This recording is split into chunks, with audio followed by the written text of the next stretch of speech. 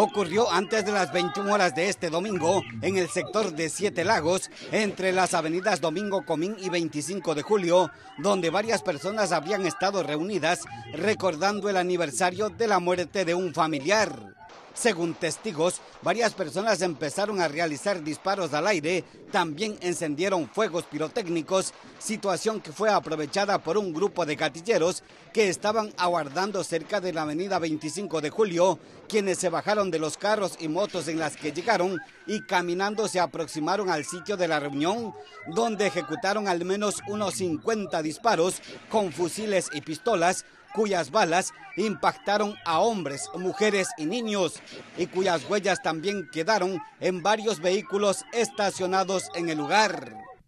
Como consecuencia de los disparos, 13 personas resultaron heridas, quienes fueron llevadas a diferentes hospitales del sur de la ciudad, donde confirmaron el fallecimiento de Jesús Ramón Rivas Vaquerizo, de 26 años, y Argelis Paul Valdivieso Moreno, de 40 los dos sin antecedentes penales. Además, 11 personas quedaron heridas, entre ellas cinco mujeres, una de las cuales está asilada en condición crítica. Entre las víctimas hay tres menores de edad. Una de ellas es un niño de apenas cinco años.